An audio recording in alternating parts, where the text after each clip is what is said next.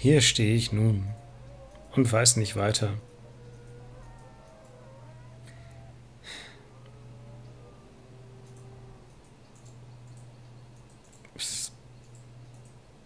Nein. Du willst mich doch jetzt verarschen. Habe ich das nicht schon. Habe ich das echt noch nicht ausprobiert? Das ist ja jetzt ein Witz. Ich, habe ich das echt noch nicht ausprobiert? Ich hätte schwören können. Aber okay.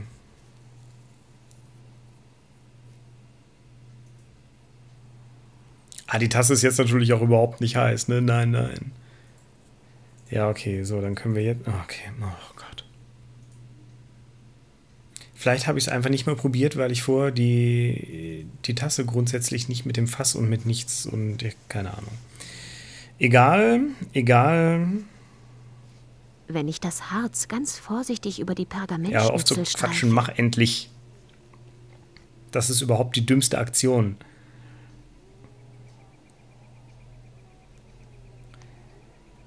Klar. Es hat geklappt. Fünf Teile Quell des Lebens, zwei Teile Wurz der Tränen, ein Teil Blut der Nacht, drei Teile Tropfen des Rausches. Einzunehmen kurz bevor es sich mit dem Wind vereinigt. Was das Ganze bewirken soll, steht leider nicht dabei. Genauso wenig wie die einzelnen Bestandteile zu bekommen sind. Natürlich, wenn sie das an den Rissen zusammenklebt, wird das Pergament damit aber auch ganz stabil sodass wir es dann lesen können. Das macht absolut Sinn. Okay, wir haben Feuer, das ist fantastisch. Fünf Teile Quell des Lebens, zwei Teile Wurz der Tränen, ein Teil Blut, was das... Fünf, was nein, das... Nein. Die ist noch halbwegs frisch. Okay. Fünf Teile Quell des Lebens, mhm. zwei Teile Wurz der Tränen, mhm. ein Teil Blut der Nacht, drei Teile Tropfen des Rausches. Einzunehmen kurz bevor es sich mit dem Wind vereinigt. Was das Ganze bewirken soll, steht leider nicht dabei. Genauso wenig wie die einzelnen Bestandteile zu bekommen sind. Okay, Quell des Lebens ist äh, wahrscheinlich Wodka. Irgendwas äh, Wurz oder so wird der Enzian sein. Fünf Teile Quell des Lebens. Wodka. Zwei Teile Wurz der Tränen. Ein Teil Blut der Nacht. Drei Teile Tropfen des Rausches. Einzunehmen, kurz bevor es sich mit dem äh, Wind Tropfen des. Rausches wird vielleicht auch einfach der Wodka sein. Tropfen des Rausches wird vermutlich der Wodka sein. Wurz, Wurz der Nacht, Wurz der Fünf Tränen, Teile Entschuldigung, ich kann mir das nicht merken. Wurz der Tränen, Blut der Nacht. Ähm, eins davon wird der Enzian sein, irgendwas davon ist wahrscheinlich der Ketchup, ich habe keine Ahnung. Feuer machen gehört mittlerweile zu meinen Spezialitäten. Toll, du kannst ein Brett mit dem Streichholz anzünden. Kauf dir einen Keks, ganz ehrlich, ey. Also ich habe ja vor allem auch nichts, wo ich drin nicht den ganzen Scheiß jetzt mischen könnte. Ich könnte damit die Zwiebel auspressen, aber da läuft mir dann der ganze Saft daneben. Was für eine Zwiebel? Ist die Frau verwirrt? Wo ist eigentlich meine Tasse hin? Also mal ganz ehrlich, äh, nur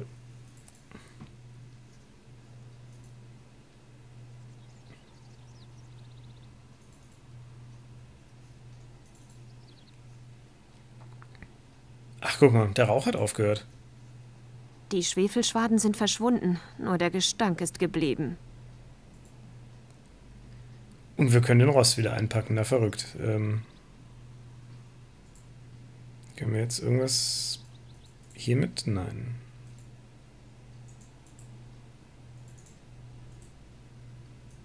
Ich bin mir nicht sicher, ob mit dem Loch noch irgendwas geht. Wortwahl. Alter. Ah.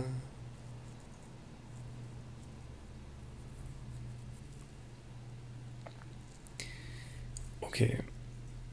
Ich probiere jetzt aus Prinzip alles mit. Okay, können wir. Würdest du bitte reingehen? Meine Güte.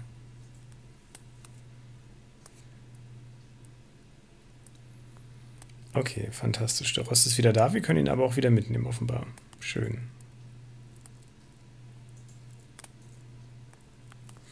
Ist jetzt auch gar nicht heiß geworden. Nein, nein. Alles super.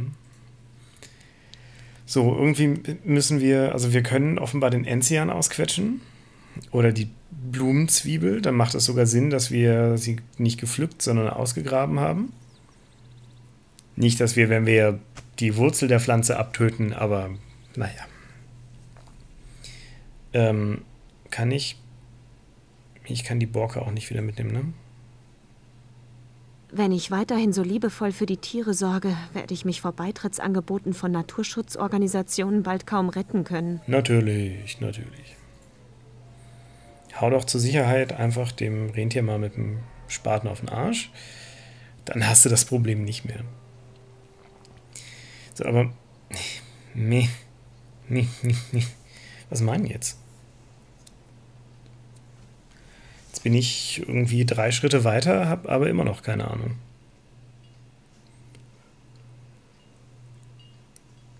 Warum hat die die verkackte Tasse nicht aufgehoben? Die hätten wir super in der Tränke ausspülen können. Das hätte alles so viel einfacher gemacht. Wir brauchen offenbar irgendwas, womit wir ja, den Siff von der Blumenzwiebel auffangen können.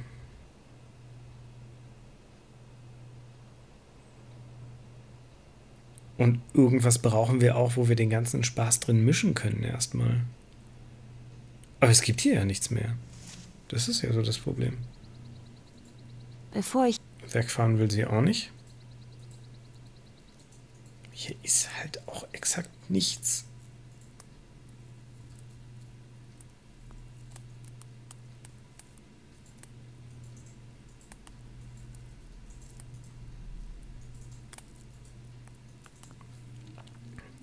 macht halt alles gar keinen Sinn. Ich stelle das Ding jetzt mal wieder hier hin, weil das werden wir da wahrscheinlich schon brauchen müssen. Brauchen müssen? Da war mindestens ein müssen zu viel drin, aber ja, ist pff, fantastisch.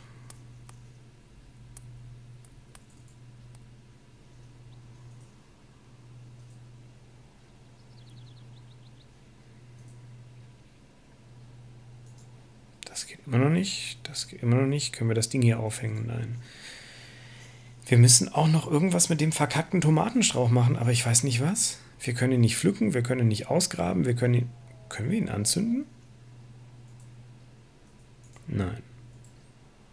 Nein. Nein. Ausgraben ging nicht, ne? Nein. Okay, wir können. Was soll ich mit verdorrtem Kraut? der gescheiterte Versuch, einen Tomatenstrauch anzupflanzen. Für die Biologen Lateine Nachtschattengewächs. Fünf Teile Quell des Lebens, zwei Teile Wurz der Tränen, ein Teil Blut der Nacht, was das ganze Blut der Nacht und so, ne?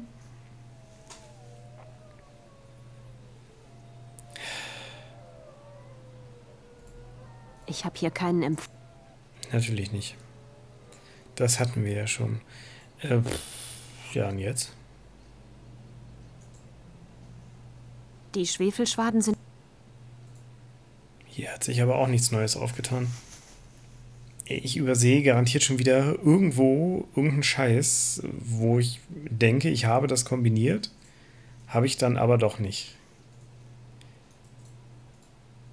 Irgendwie sowas wird das sein.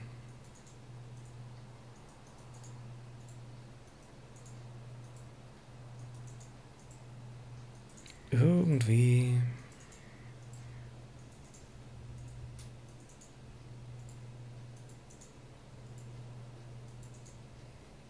Können wir. Hm. Können wir. Jetzt geht er rein. Nein. Anscheinend okay. will der. Gut, wir können ihn jetzt auch nicht mitnehmen. Das ist sehr bedauerlich. Ich habe, glaube ich, alles mit dem Nussknacker kombiniert. Ziemlich sicher. Das geht nicht. Väterchen, wach auf. Ist das hier das Rezept für deine Medizin? Scheint tatsächlich das Rezept zu sein. Der Alte will wohl, dass ich es in der Fiole zubereite. Ich Natürlich. sollte mich mit der Herstellung der Medizin beeilen. Lange hält er nicht mehr durch. Der zieht sich jetzt die Flasche aus dem Arsch. Das macht vollkommen Sinn. Ah, So, das müsste die richtige Dosis sein. Gesetzt den Fall, dass mit dem Wurz der Tränen diese Zwiebel gemeint war. Natürlich. Ein paar Tropfen des Rausches. Ketchup besteht aus Tomaten. Tomaten sind Nachtschattengewächse. Könnte also durchaus hinkommen mit dem Blut der Nacht. Ich probier's mal. Klingt sinnvoll. Fünf Teile Quell des Lebens, zwei Teile Wurz der Tränen. Was das Ganze. So, was ist ja so Quell des Lebens? Wasser, natürlich. Äh aber ohne Witz, da komme einer drauf, dass, Fünf Teile vom Quell des Lebens. Hab ich. dass der Typ irgendwie die Fiole in seiner Jackentasche stecken hat. Aber nun ja. Hoffentlich fliegt mir das Gebräu nicht um die Ohren. Ich habe zwar keine Ahnung, wann das Zeug wirklich fertig ist, aber bevor es mir verdunstet. Verdunsten, das ist es. Einzunehmen kurz bevor es sich mit dem Wind vereinigt. Dann müsste die Medizin ja jetzt fertig sein. Natürlich.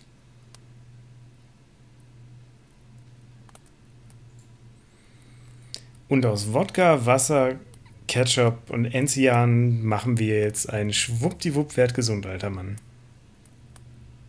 Trink, Väterchen. Das wird dir hoffentlich helfen. Oder dich umbringen. Oder Danke. beides. Gern geschehen. Was ist passiert? Eine kleine Meinungsverschiedenheit mit den Wachen. Wachen? Von der Forschungsstation? Ja, ich habe nicht so wichtig. Nicht so wichtig? Du wärst fast gestorben. Aber ich lebe. Und du bist nicht nur hier, um mir zu helfen, oder? Du hast Fragen. Ja, woher weißt du? Deine Augen verraten dich. Die Augen verraten jeden. Und deine Augen, ich kenne deine Augen. Vor langer Zeit waren sie schon einmal hier. Ich? Nein, mit Sicherheit nicht. Doch, aber sie hatten nicht den Körper einer jungen Frau. Du bist die Tochter von... Wie hieß er doch gleich? Wladimir Kalenko? Du kennst meinen Vater? Ja, Wladimir war sein Name. Er kam damals zu mir, so wie du heute, mit den gleichen Augen. Ich brauche deine Hilfe. Wenn du meinen Vater kanntest, dann kannst du mir auch sagen, was damals hier passiert ist. Ich bin nur ein Hirte. Ich war immer Hirte. Und ich werde es bis zu meinem Ende bleiben. Aber Ich weiß, wo mein Platz im Leben ist. Und du solltest es auch wissen. Höre auf die Worte eines einfachen Mannes. Mein Sohn hat nicht auf mich gehört. was meinst du?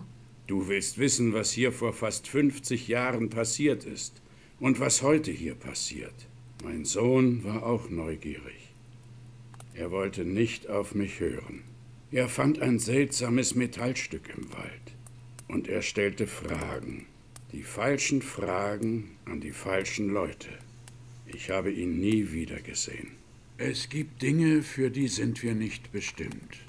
Wenn wir das nicht verstehen, Väterchen, deine Worte mögen weise sein, aber mein Vater ist in Gefahr. Ich weiß nicht genau wieso, aber ich brauche deine Hilfe. Ich weiß, deine Augen verraten es. Du bist wirklich genau wie dein Vater. Auch ihn hatte ich gewarnt. Auch er wollte nicht auf mich hören. Er hat das verfluchte Reich der Akti betreten. Jener Donnervögel, die seit dem Jahr der großen Katastrophe jedes Wesen mit endlosem Siechtum strafen. Dein Vater hat meiner Warnung keine Beachtung geschenkt und sein Begleiter musste teuer dafür bezahlen. Ich weiß, dass ich dich nicht aufhalten kann. Und du sollst erfahren, wo dein Vater damals sein Lager aufgeschlagen hat. Folge dem nördlichen Pfad bis in die Sümpfe. Dann wirst du finden, wonach du suchst. Aber denk immer an meine Worte. Sei vorsichtig bei allem, was du tust. Hier passieren Dinge, die sich keiner vorzustellen vermag. Der Ewenke hatte recht. Die Stimmung hier ist wirklich seltsam. So unwirklich. Auch wenn vielleicht eine gute Portion Aberglaube mit im Spiel sein mag. Ich fühle mich hier nicht wohl. Und dann diese Geschichte mit den Donnervögeln und dem endlosen Siechtum. Reiß dich zusammen, Nina. Du bist einfach nur übermüdet. Es gibt keine Donnervögel und jedes noch so mysteriöse Phänomen lässt sich ganz rational erklären. Hoffentlich. Bla bla bla, Miss Kalenko. Bla bla bla. Alter, der Typ hätte sich das auch ein bisschen. müsste der Ort sein, von dem der Alte gesprochen hat. Von hier aus hat mein Vater also seine Expeditionen gestartet.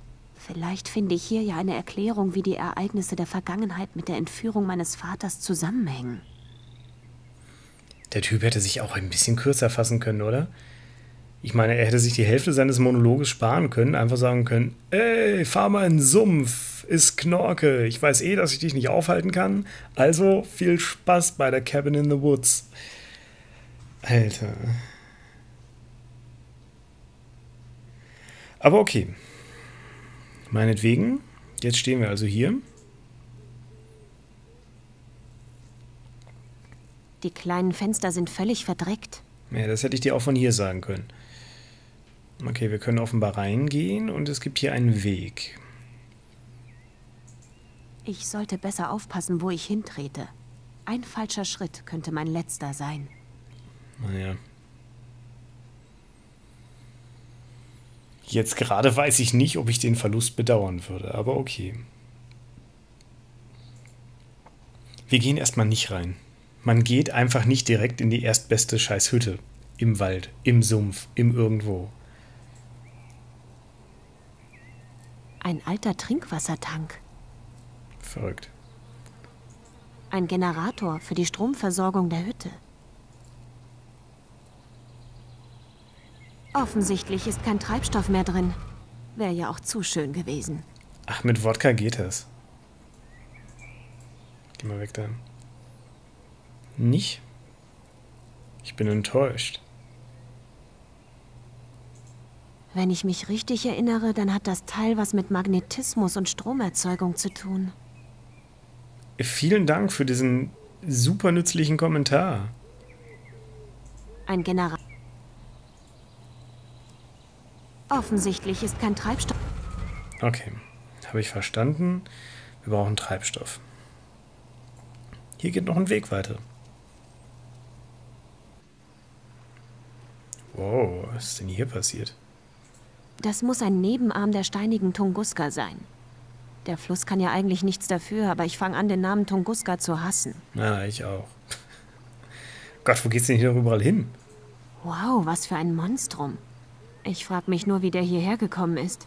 Mit dem Bollerwagen.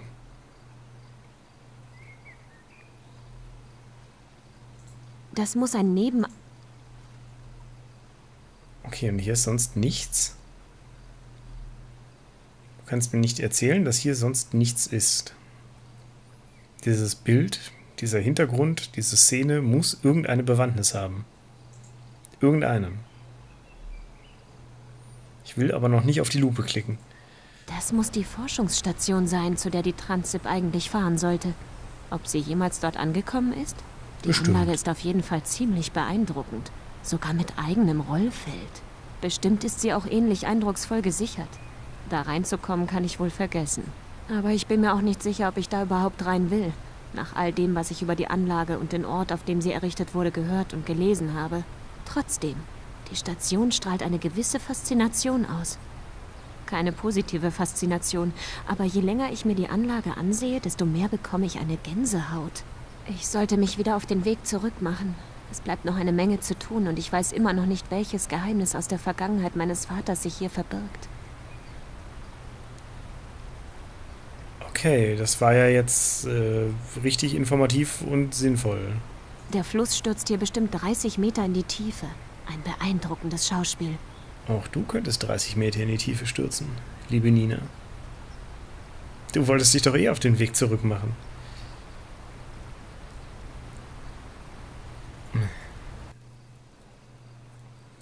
Okay, im Fluss können wir im Zweifelsfall garantiert Wasser holen und äh, ich hatte ein bisschen die Hoffnung, dass wir aus dem LKW, LKW-Wrack. Oh, eine Felge. Die haben wirklich alles mitgenommen, was nicht bei drei auf den Bäumen war. Nur zwei kleine Muttern sind noch übrig. Und die werden jetzt von mir geklaut. Okay. Äh, ich dachte, wir kriegen hier vielleicht noch ein bisschen Benzin raus, aber das ist offenbar nicht der Fall. Ein Tank, natürlich. Es scheint noch ein bisschen Diesel drin zu sein. Okay, das heißt, den müssen wir irgendwie abzapfen. Dafür brauchen wir aber erstmal einen Behälter. Das kriegen wir aber vielleicht in der Hütte. Ich hoffe nur, dass wir da ohne Strom was drin sehen. Schauen wir mal.